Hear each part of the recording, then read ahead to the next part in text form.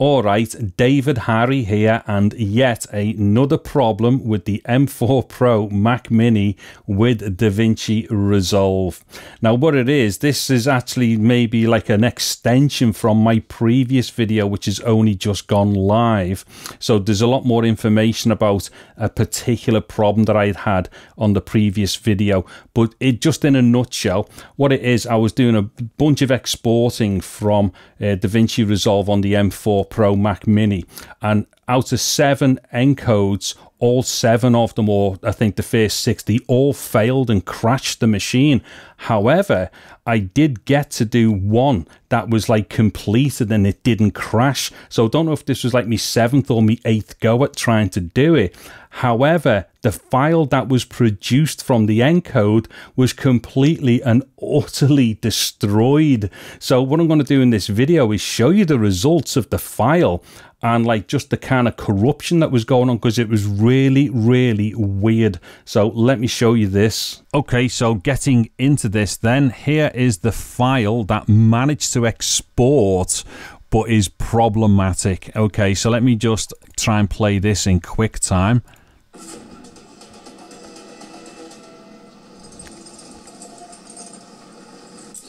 Okay, so as we can clearly see there, that is an absolute mess. I don't know what's that like, one frame per second or something. Okay, now before I just throw this into Resolve so we can have a look at it in Resolve, let me just point something else out here. So in this folder here, this ProRes 422HQ file, this is actually the source file, right, that I've been using for these particular tests. So this is like the master 8K120 file, as it were. Now this was prepared on my M1 Max MacBook Pro. Now see this file here, this effectively is like the same export as this one here, but this one was from my MacBook M1 Max. Now the thing with this, it's 400 megabits per second, so it's a much higher bitrate than what this one is. But the actual encode parameters are identical as far as like all the stuff for H.265 is concerned. Now look at this. Hold on.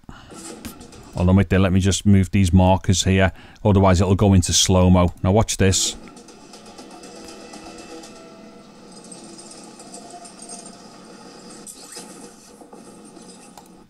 Okay, so as we can see, that plays perfectly well. So just to be doubly clear, this file here was done from the same source as what this file was, but this file here was done uh, on my M1 Max MacBook Pro. Now let me just open up Resolve here.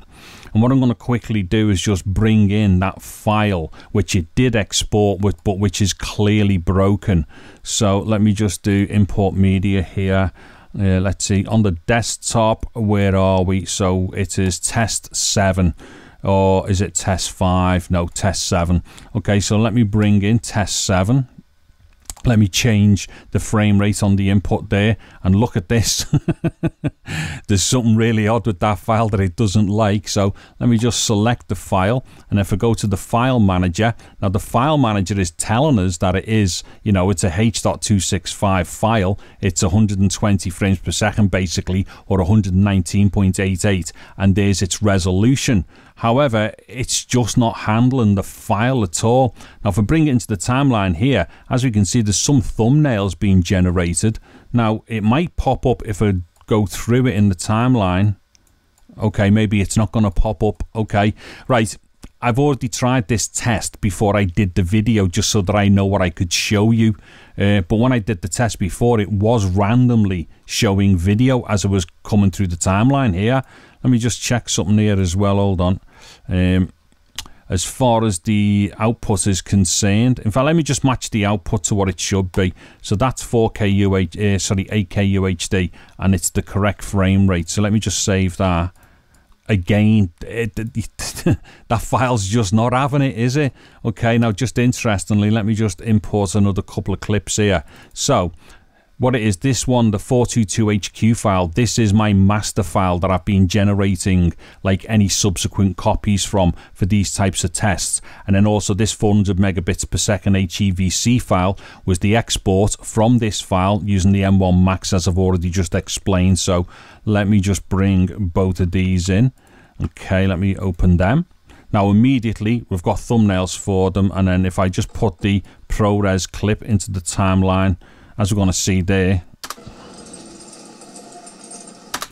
aside from this issue that I've noticed with the playback monitor, um, the file's going to play fine. And let me just go scrubbing through the timeline with it. Okay, so buttery smooth scrubbing. Now, if I bring in the HEVC export, which was uh, once again, it was generated from this file, but it was done with the M1 Max using my typical H.265 or HEVC export parameters. As we will see with this, this will play perfectly as well.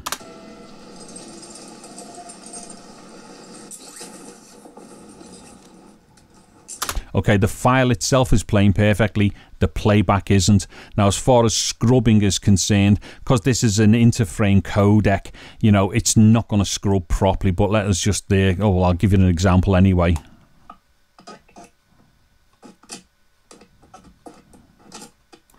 Okay, so what looks like a stuttery mess there is actually quite normal. What it is, interframe codecs won't scrub the same way as an intraframe codec. So that's like the comparison between HEVC and ProRes 422HQ. However, the, the like the bigger the resolution and the, and the higher the frame rate, that problem is going to kind of like be worse as well as far as scrubbing. But nonetheless, that file is playing perfectly.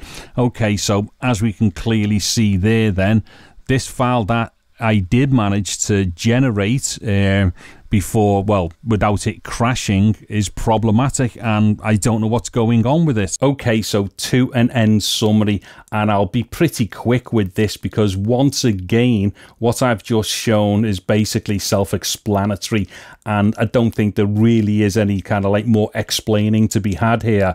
However, if you are interested in what you've just seen, go back and watch my previous video. There'll be a link somewhere and it'll be like the last thing that I uploaded before this video. There's a bit more detail in that uh, to do with a couple of other things that might be of interest to you. However, as we could clearly see there, although the file was something that definitely was exported by Resolve, not only was the file corrupted and the Mac had problems playing it, but Resolve wouldn't even see its own file that it exported out. Um, and I think what was a little bit more weird there is that the file was showing as being offline. Now, in other like tests that I'd done where I re-imported the exact same file. Sometimes it would show thumbnails and maybe the odd frame in the timeline. But what you just seen there, then it wouldn't show anything and it was shown as offline media. Definitely wasn't offline because I just imported it straight into the bin as you could see and then just went straight to the timeline from the bin. So yeah, some really weird stuff going on here as far as like, you know, the exporting is concerned.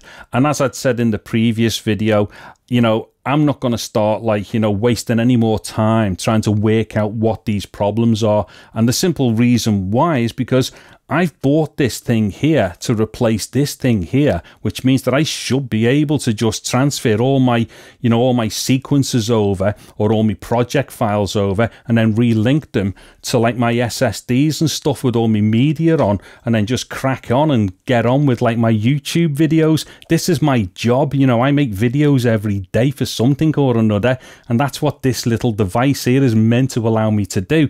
So the thing is, I cannot be spending time time trying to fault find and, you know, all these weird things, you know, because I've got work to do, which means I'm going to have to go back to my MacBook here to like carry on doing my daily work by the looks of it. Anyway, what I'm going to do, I've like literally got almost two weeks to make a decision as to whether or not I'm going to keep this. The intention obviously was not to test it to see if I want to send it back to Apple. The intention was this was going to be, be my new work machine until the next studio comes out, hopefully with say an M4 Ultra in it or something like that. Um, but I've got to say, immediately, I'm really disappointed. I mean, I'm trying to put a smile on and have a laugh about it because, you know, it is a bit funny, isn't it? Going out and spending over two grand on something and it's just crashing and not doing the not doing the exact same thing that a three year old computer can do. So, you know, there's some weird stuff going on here. Anyways, if I do find any resolutions to these things or if I, if I can find any more information, I'll do some videos about them and stuff like that. But like I say, what I can't be doing is deep diving and trying to help, like, you know, Apple or anybody fault find any of these issues because it's not my job to do that. You know, I just bought this to try and like continue where this thing is supposed to have left off, and that is most certainly not the case. Anyway, let me know what you think about this in the comment section below and stuff.